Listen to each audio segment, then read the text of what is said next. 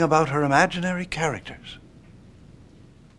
That's the very tragic part of Lucy Maud, is that she created a character that was very liberated, and yet she was very much a victim of the structure of her time. She keeps in their midst, and they didn't know what to uh, to do with her, so she was lonely and on her own a lot. And she was uh, being raised in a very strict Victorian atmosphere where there was very little understanding or respect for children.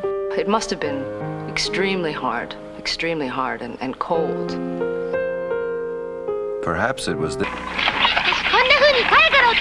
Well, I had a fabulous time playing that role because I think she is an amazing character, and I don't perceive her as a as a saccharine character, as a sweet little girl, and I think that's what was amazing about her, and that was what was amazing about her in her time, was that she was actually a human being, and that Lucy Maud Montgomery allowed a child to have a voice that was of equal importance to the grown-ups around her. So consequently, she has a very bad temper. Miss Cuthbert is not here. What do you mean she's not here? She's gone to East Grafton. And this isn't a novel, it's Virgil's Aeneid, if you want to know. And I'd rather have red hair than none at all, except a little fringe around my ears. She can't stop talking. She's a compulsive talker. Uh, and she's a compulsive talker because she's desperately lonely and she's had no validation in her life. And she's created a complete world around her to support her. That's the house. Why, it has gables. What do you call it? Oh, just the house. What would you think if I gave it a new name? Something that would sound more euphonious. Now, let me see. Gables, and they're green.